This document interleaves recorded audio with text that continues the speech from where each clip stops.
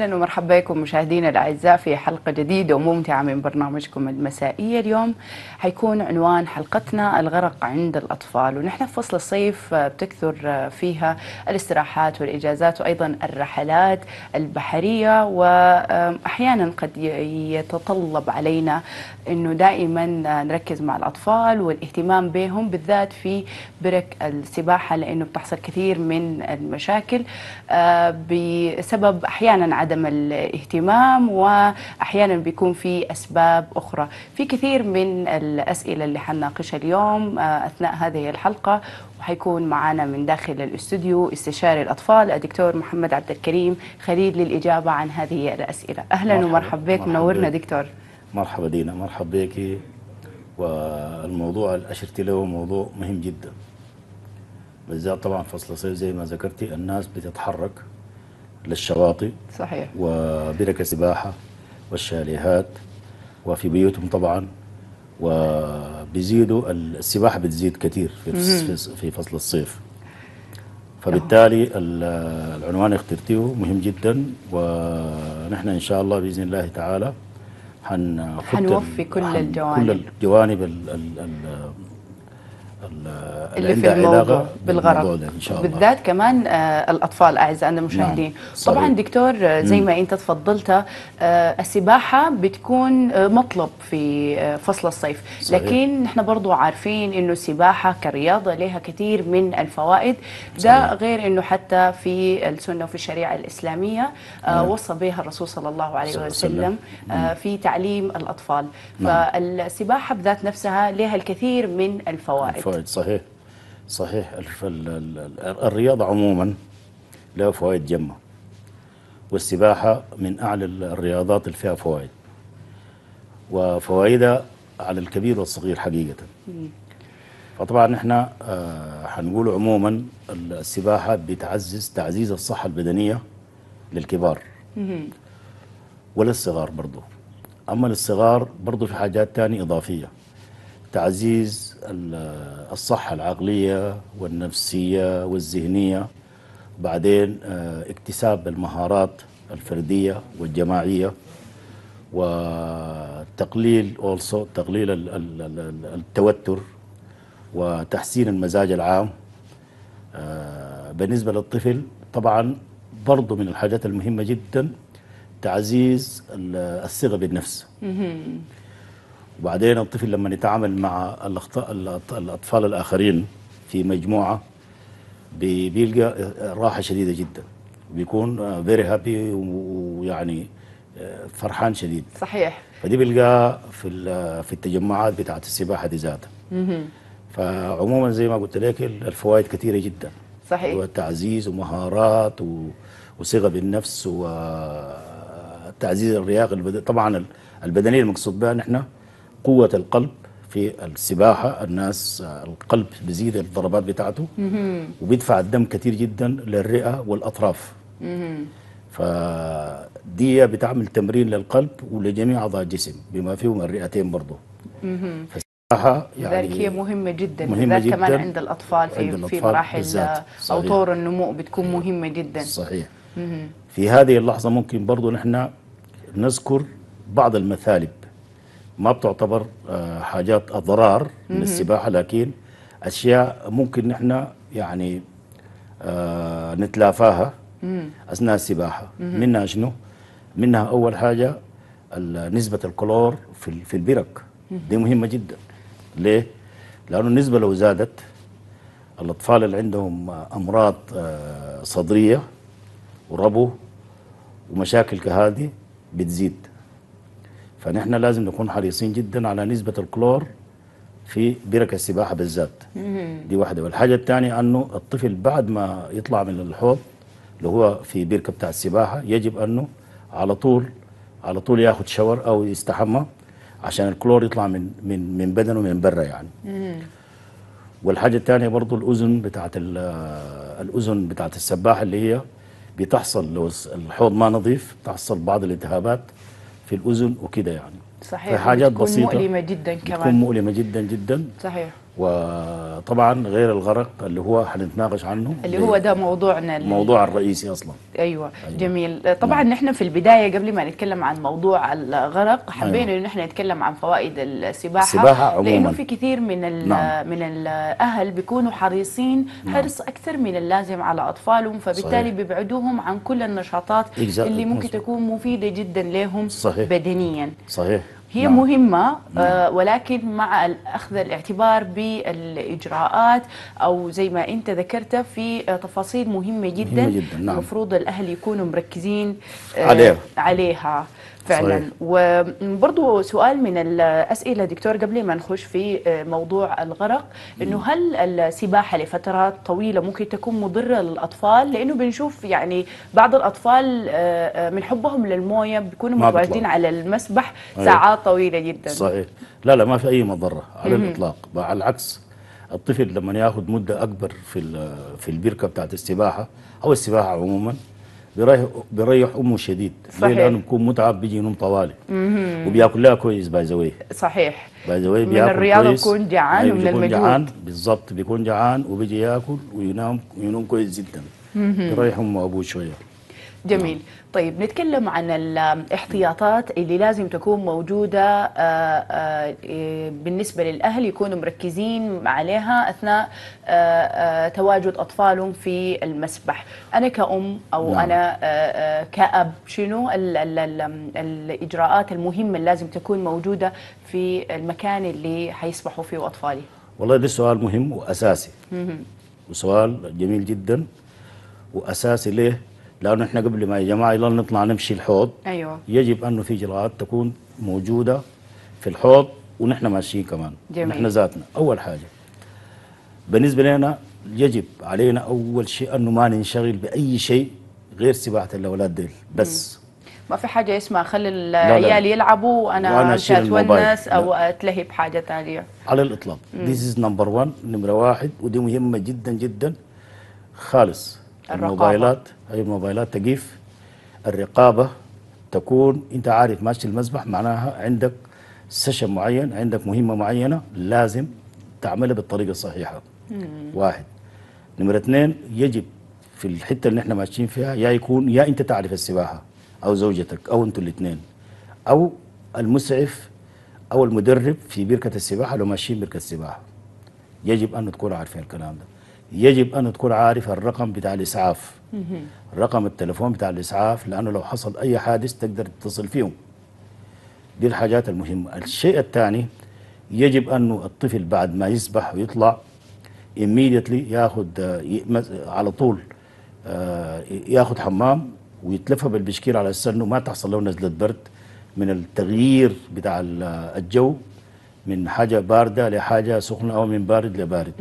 حاجات رئيسية يجب وال- والأهم من ده كله أنه الحوض لو أنتم ماشيين حوض بركة سباحة يجب أنه يكون نظيف وأنتم عارفين. تماما الكواليتي العي ال- النوعية بتاعت ال- الحوض اللي أنتم ماشيين فيه. ليه؟ لأنه لو الحوض ما نظيف بيحصل الآتي. الأطفال بيشربوا موية ال- الموية بتاعت الحوض تحصل لهم إسهالات والالتهابات في تحت الأذن اللي قلناها قبل شوية والتهابات في العيون دي كلها حاجات مهمة جدا. صحيح. فيجب الحرص الشديد على أنكم ماشيين وين؟ وحتجوا راجعين 200 ومين معاكم؟ صحيح. دي آه، نقطة مهمة جدا وكمان نعم. آه، يعني التركيز بيكون حتى ممكن تكون الألعاب اللي بتكون موجودة داخل المسبح. آه لازم تنشال من بعد آه، ما الأطفال يخلصوا لعب نعم. لأنه آه بنشوف آه آه، يعني لا سمح الله كثير من ال- المصايب. اللي بتحصل صحيح صحيح مم. نعم. بالنسبة للأطفال وأيضا يعني وجود كمان حاجز على المسبح أو بركة السباحة لأنه مرات ال- ال- ال- المشاكل دي بتحصل حتى آه، آه، مش بس البيت. أثناء نعم. آه، السباحة لكن بالضبط، حتى أثناء بالضبط. تواجدنا في المنتجع أو منتج في ال- بالضبط بالضبط. الرحلة بالضبط. محتاج تركيز دائما فكرة إنه أنا آه، أغير جو للأطفال نعم. الحاجة دي زي ما أنت قلت هي لازم تكون بمثابة مهمة, مهمة، لازم أنا أكون أساسية. مركزة session نعم نعم أكيد نعم. أكون مركزة ومفرغة كل وقتي آه، لهذه الطلعة أو هذه الرحلة بكامل الحرص نعم وبعدين الشيء الثاني أنت تكون ذاتك positive اللي هو يعني تكون أنت جزء من الاستمتاع بتاع الأولاد. أنت ذاتك تستمتع معاهم يعني. ما تكون بالنسبة لك آه، أمر.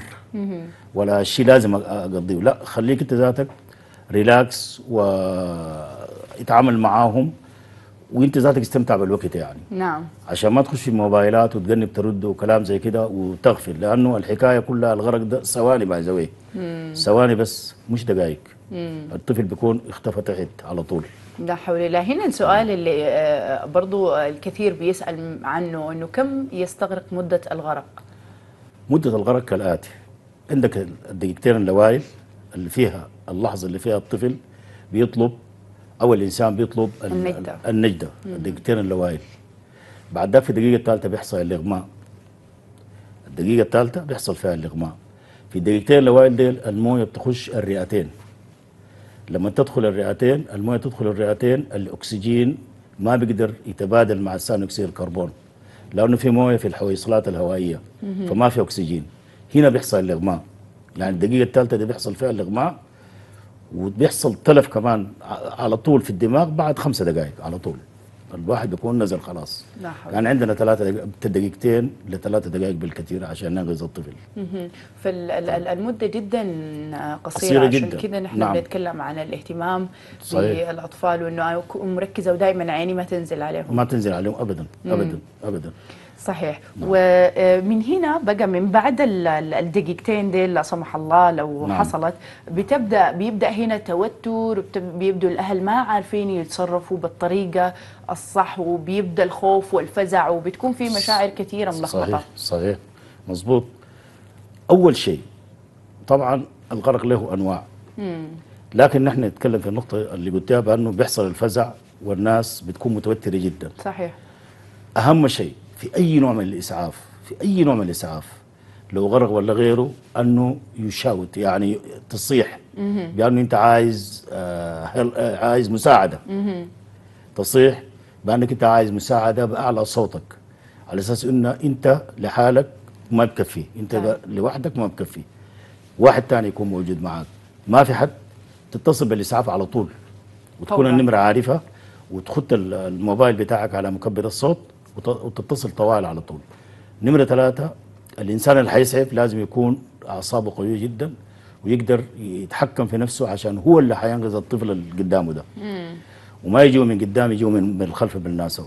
لو عايز تنقذ طفل أو أي إنسان من الغرق ما تجيه مواجهه هو. لا تجيه من وراه. لأنه لما تجي مواجهه هو غد أنت تكون ذاتك ما حيكون عندك مشكلة.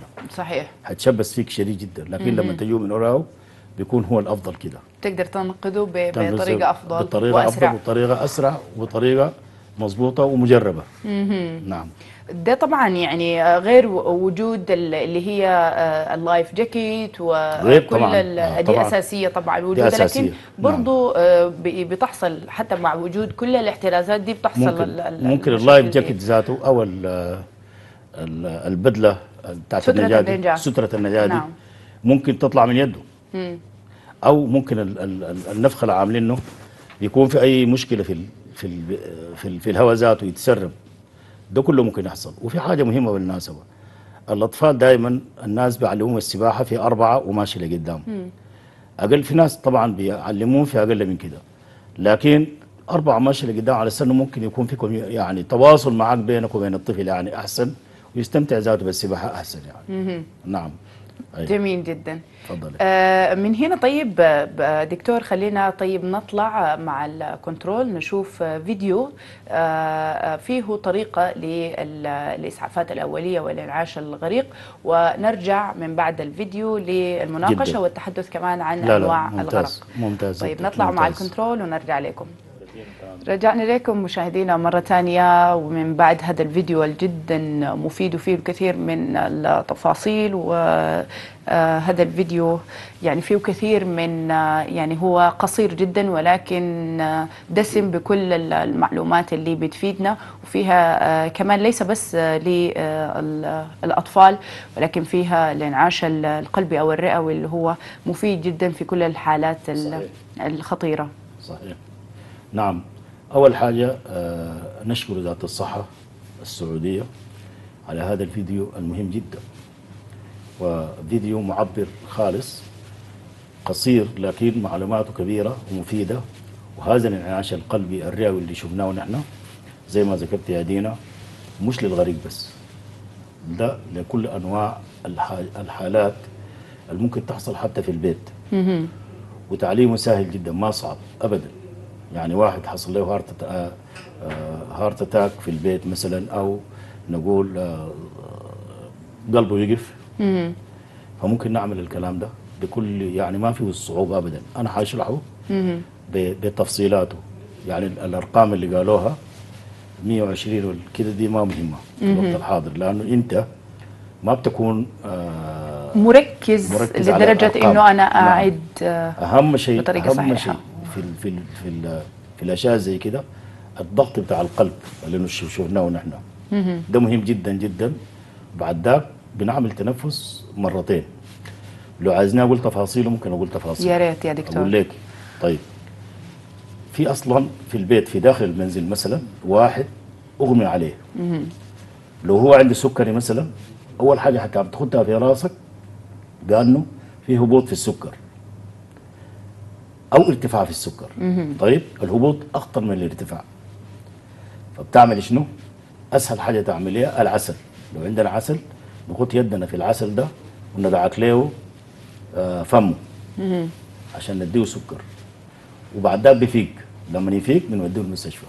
حتى السكر لو كان عالي ما في مشكلة. المهم نحن ما عايزين السكر الواطي طيب؟ هو الأخطر. هو الأخطر. واحد. لو واحد حصل له heart attack اللي هو آه سقطة قلبية. هنعمل الفيديو اللي شفناه ده.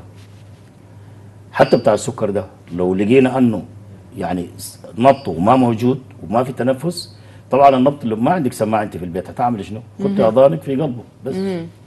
سمعتي؟ أهلا وسهلا. ما سمعتي طوالي تحطيه على السطح أو خشب مستقيم. من تحت السرير؟ حاجة تكون صلبة؟ وتعملي ال ال الإسعاف ده اللي هو تضغطي على قلبه بين ال بين ال بين ال بين الثدي بين الحلمتين. تعملي خط خيالي وفي النص تعملي 30 لو انت براكي 30 ضغطة قوية. طيب؟ وتدي نفسين. 30 ضغطة ونفسين. 30 ضغطة ونفسين أربع مرات. بعد ذاك تشوف النبض. النبض تشوفي في رقبته. النبض ده موجود. أهلا وسهلا. ما موجود تستمري. واحد بيكون يا انت تكوني اتصلت بالاسعاف وتستمري تستمري لغاية 20 دقيقة أو أكثر لغاية ما تتعبي. أو لغاية ما الإسعاف يجي. فالموضوع سهل جدا ما صعب. صحيح. وممكن. أعملهم الاثنين مع بعض, مع بعض. وأتصل على الإسعاف. وأخلي جميلة. الميكروفون مفتوح زي ما ذكر في الفيديو برضو أيوة. معلومة مهمة. قد يكون الشخص في في أثناء آه، آه، الموقف ما بيقدر يفكر بالطريقة فكر بالطريقة الصحيحة. الصحيحة. نعم. لكن الموضوع بسيط. زي ما أنا بسطته الآن 30 ضغطة ونفسين. 30 ضغطه ونفسين. 30 ضغطه ونفسين. أربع دورات. حتى لو عملت خمسة ما مشكلة. المهم أنت تعمل الضغطه دي أهم شيء. ليه الضغطه دي بنعملها على القلب؟ على أساس إنه نحن نحرك القلب والدم يمشي الرئه لو الدم يمشي الرئه بعد كده الإنسان حيتنفس والنبض بتاعه بيرجع. ما حاجة صعبة. ابدا. يعني الواحد لما يسمع عنها بيقول أنها حاجة كبيرة لا ما حاجة كبيرة. ومعقدة ومحتاجة لا لا لا لا إنسان. متخصص. لا ما داري أي متخصص على العكس من ذلك. 30 ضغطة ونفسين حاجة بسيطة جدا. لكن كيف نعم. ال- ال- الشخص يقدر إنه هو يتمالك أعصابه والمعلومات ال- الصحيحة والطريقة الصحيحة بقت متوفرة عندنا صح. فالانسان لازم في هذه اللحظة يقدر يتصرف بطريقة بطريقة سريعة سريعة، جدا ما دام إنه المعلومة صحيحة متوفرة بس كل أيوة. الموضوع إنه يهدى يهدى يهدى ويعمل الحكاية دي ما حاجة صعبة ابدا ما صعبة. جميل. ويعني هذه ال- المواقف فعلا بتكون عايزة موترة. تحكم صحيح. في أعصابك. صحيح. بس. فعلا. أيوه نعم. طيب نرجع وننتقل لموضوعنا الأساسي الأساسي. وهو آه، موضوع الغرق. دكتور أنت ذكرت إنه حتى للغرق أنواع. فعايزين نتكلم عن كمان أنواع الغرق وكيفية التعامل معها. طيب. الغرق الشائع اللي هو معروف عند الناس كلهم. ده الغرق العادي اللي بيحصل كل يوم.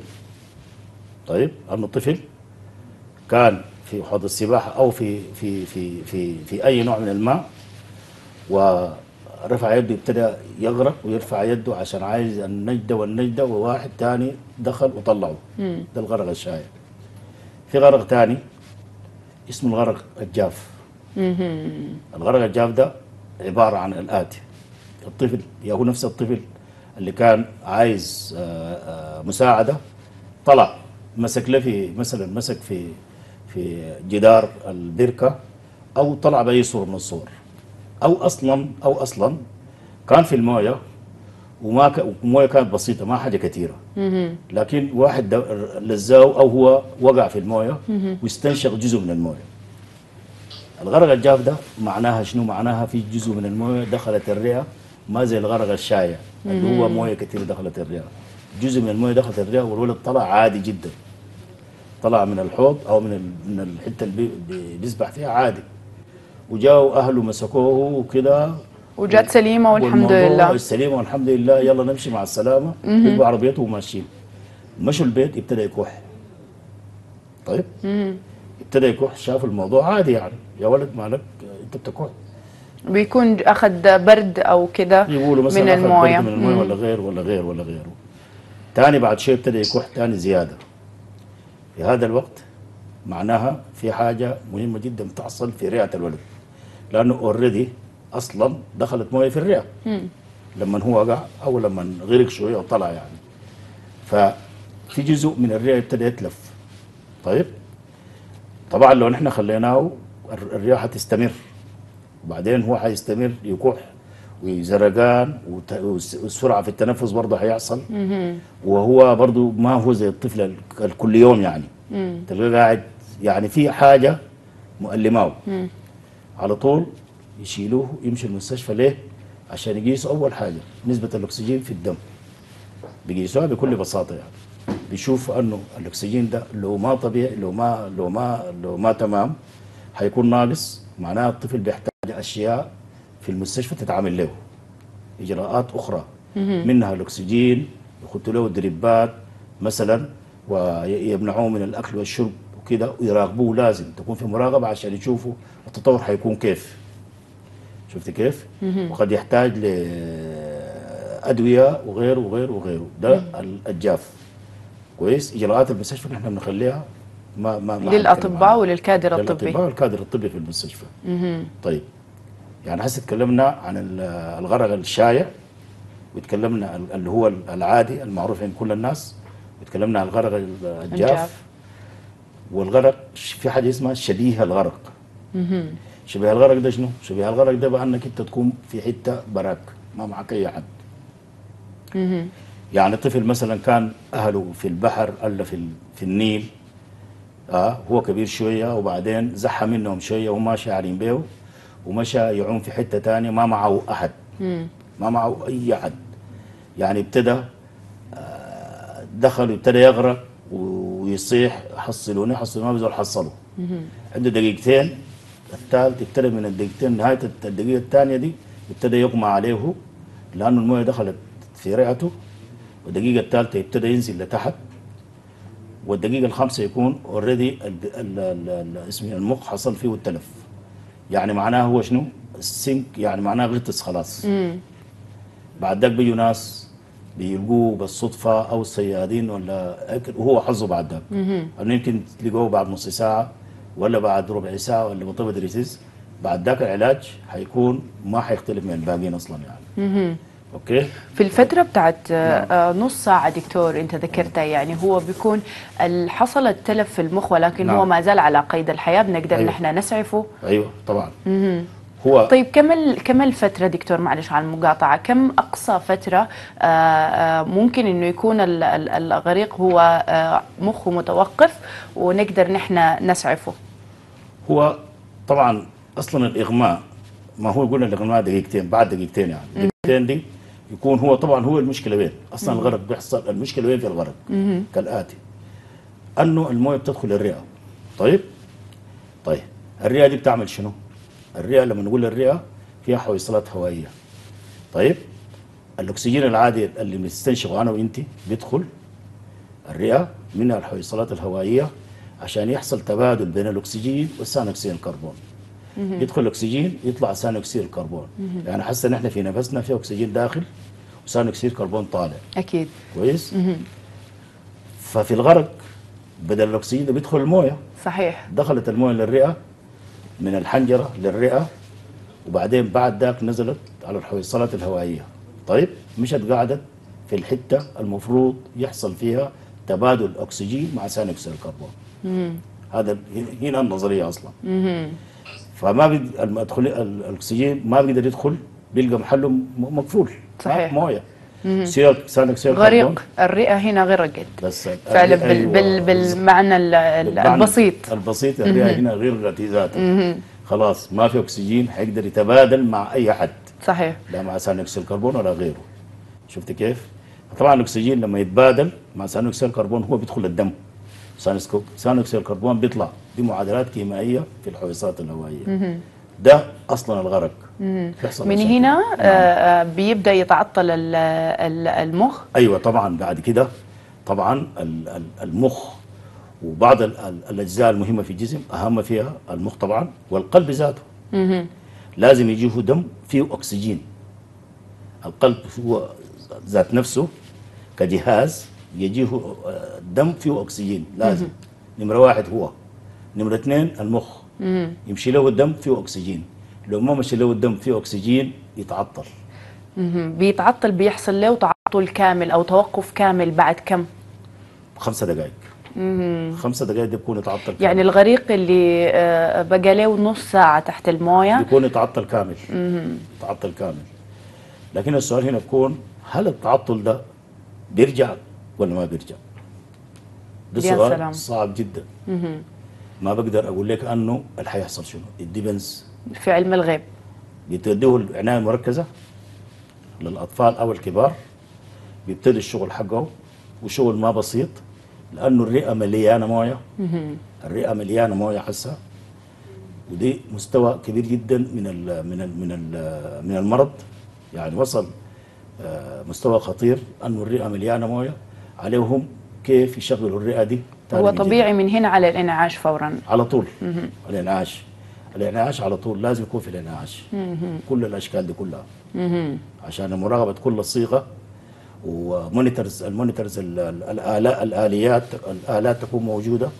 اللي بتشوف الأكسجين نبض القلب والضغط الضغط بتاع الدم ونسبة كل الإشارات الأكسجين، الحيوية. نسبه الكار كار ال- ال- اسمه ثاني اكسيد الكربون.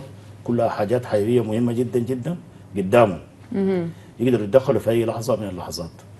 نعم جميل يعني دي آه، ثلاثة أنواع من الغرق. الغرق, صراحة آه، يعني كلها الحاجات اللي مشتركة فيها اللي هو عنصر ال- السرعة إنه ما في زمن في في آه، في لحظة في توقيت الغرق نفسه صحيح. فسواء كان في النوع الأول اللي هو النوع العادي الشائع العادي. الشائع أو بشبيه الغرق نعم. أو حتى في النوع الثاني اللي هو الغرق الجاف صح. أنا ممكن يكون الغرق الجاف من أنواع الغرق اللي ما كثير عندنا معلومات عنها صحيح. مفهومنا للغرق هو مق- مقترن تماما بالمسبح أو بركة الماء نعم. لكن الغرق الجاف آه، هو اللي محتاجين فيه آه، أكثر معلومات دكتور صحيح. أنت ذكرت من الإشارات أو أعراض الغرق الجاف, الجاف. الكحة مش الكحة بس الكحة أول حاجة أول شيء الطفل مش هو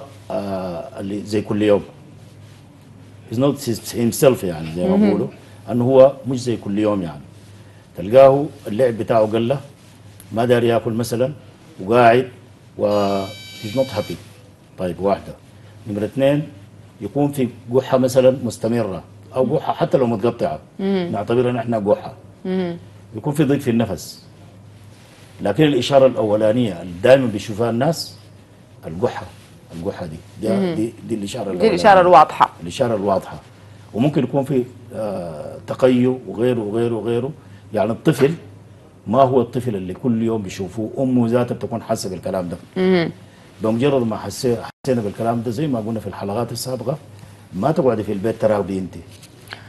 تعالي المستشفى يراقبوا لك الناس أيوه بالضبط هي دي ال- ال- ال- المعلومة وإنه ب- يعني كثير آه، بيشوفوا الأعراض مثلا زي الأعراض اللي أنت ذكرتها للغرق الجاف هي أعراض ممكن تكون شبيهة جدا للالتهاب. الرئوي لكن إحنا بنرجع ليه بقى التاريخ. بنرجع للتاريخ الهستي التاريخ اللي حصل فيه والكلام ده بالظبط أكيد لازم نقدر. لازم نربط نربط المواقف مع بعض. مع بعض مم. مظبوط تمام. ونكون حريصين جدا بإنه دائما نتواصل مع الأطباء المختصين من دون ما نفتي نحن آه، أيوة. من نفسنا. صحيح. ويعني نحن مؤخرا شايفين ال- الدكتور عمي جوجل كيف إنه هو بياخذ لنا كثير من الأعراض وبيدينا تشخيص لأمراض وكمان بيصرف لنا آه،. الأدوية. صحيح. صحيح. صحيح. فلازم نكون حريصين شوية في المواضيع دي ونكون آه، آه، دقة واهتمام بالمواضيع خصوصا الصحية. صحيح. جميل جدا. نحن نتوقف هنا ونطلع مع الكنترول نشوف مجهزين شنو نرجع لكم لاستكمال الحلقة. رجعنا لكم مشاهدينا مرة ثانية وبنشكر الكنترول اللي دائما اختياراته جميلة ومبدعة شكرا للمخرج آه، هشام وبالعودة لموضوعنا المهم جدا آه، اليوم فيه كثير من المعلومات. و أيضا آه، آه، شاهدنا آه، الفيديو لوزارة الصحة اللي كان جدا مفيد حقيقة وذكر اللي هي نقطة مهمة جدا واللي هي التعامل مع آه، الطفل الغريق منذ أول لحظة. ونحن دكتور آه، كسودانيات عندنا موضوع ال- الفزع وعدم التصرف وخلينا نقول النسوة بصورة عامة. آه، شوية كده ال- ال- التصرف في المواقف ال- الموترة بالذات الموضوع لما. يكون العاطفية. بالذات لما يكون مرتبط بالأطفال بيكون الموقف آه، صعب. صعب جدا. فكيف أنا آه، أقدر أكون آه، آه، أتصرف بالطريقة الصحيحة؟ في طيب. كثير من الأسئلة دكتور اللي آه، لما نتصل على ال- آم، الإسعاف بيسألونا أسئلة أنا ممكن أكون حتى ما عندي عنها أي خلفية وما بقدر أساعد كمان الإسعاف بالمعلومات اللي تفيدهم. أول حاجة أول شيء السيطرة على نفسك. لو تكلمنا عموما أنت قلتي ال- الأمهات وكده أوكي؟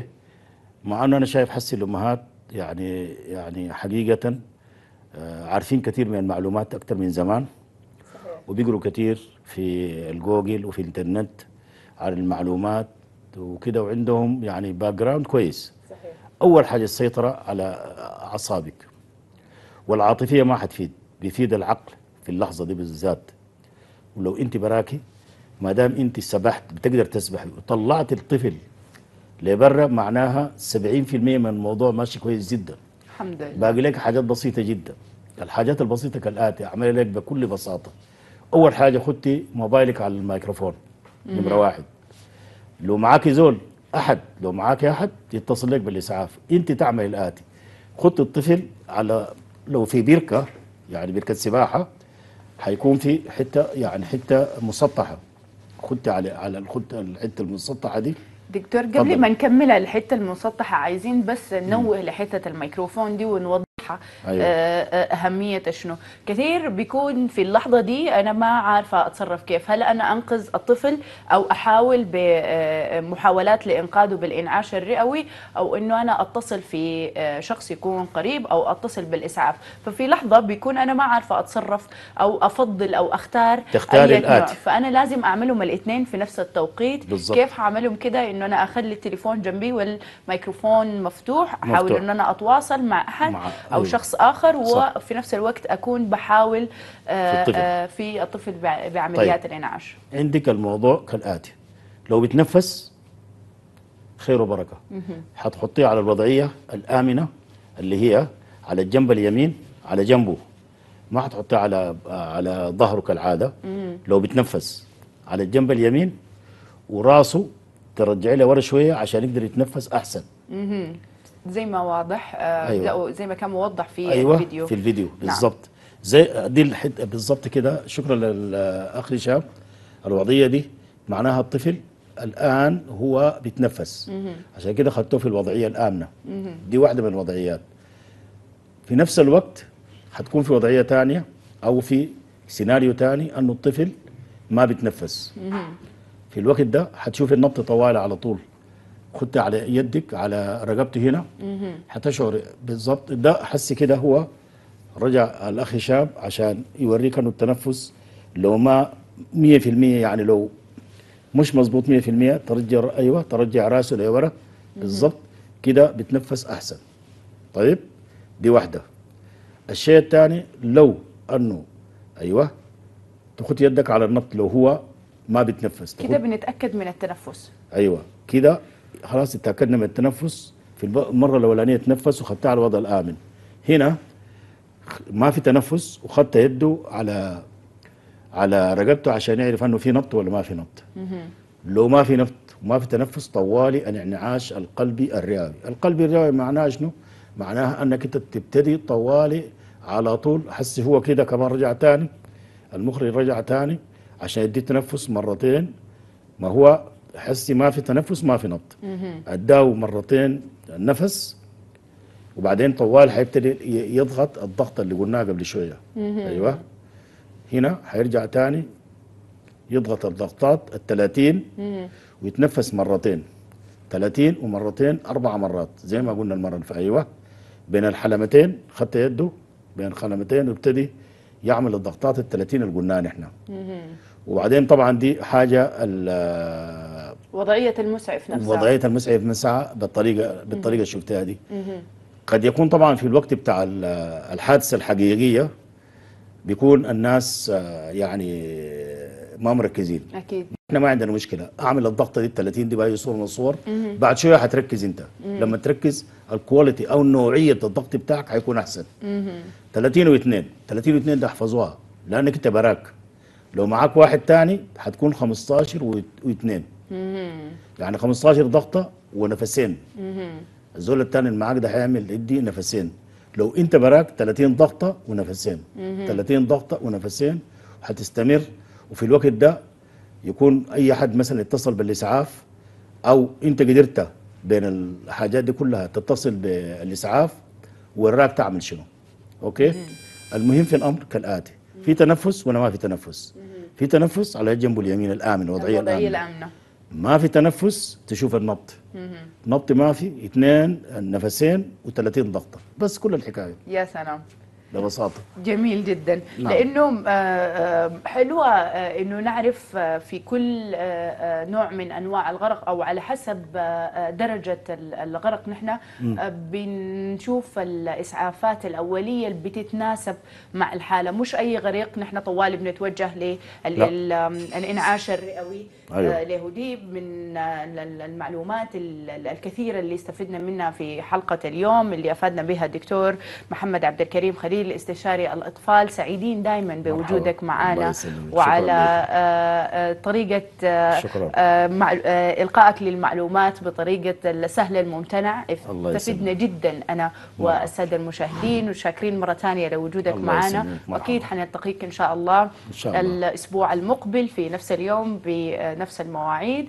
إلى أن نلتقيكم إن شاء الله أنا والتيم العامل في حلقة بكرة. نلقاكم على خير وصحة وعافية. في أمان الله. الله يسلمك. شكرا.